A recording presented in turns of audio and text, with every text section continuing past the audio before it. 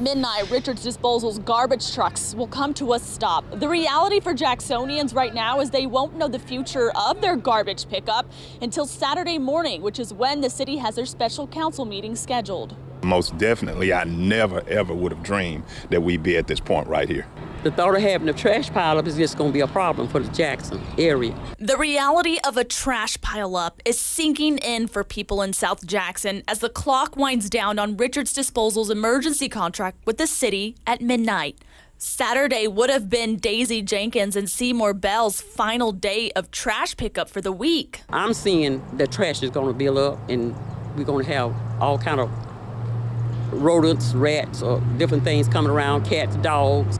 And what we really want them to do is just, just, you know, just stick to the governmental process. Thursday, no action was taken by the city council because there weren't enough members to make a vote on garbage collection.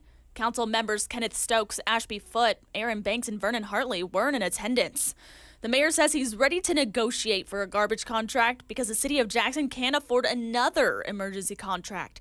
Councilman Aaron Banks released a statement following Thursday's vote saying the mayor waited until the 90th hour to call this meeting and didn't do his due diligence of polling council members to check availability. Banks went on to say he will work without threats or insults and not hold it personally against those that had the audacity to do it in order to find a garbage collection service. I encourage them to work together and do whatever they have to do to try to get this problem resolved for the citizens of Jackson. I'm expecting some garbage pickup. I don't care who picked it up, as long as we get some pickup. The city has a special council meeting scheduled for Saturday at 10 a.m., but whether or not they will have enough council members in attendance for a quorum is a toss up. We've reached out to the council members that weren't in attendance for Thursday's meeting and haven't heard back.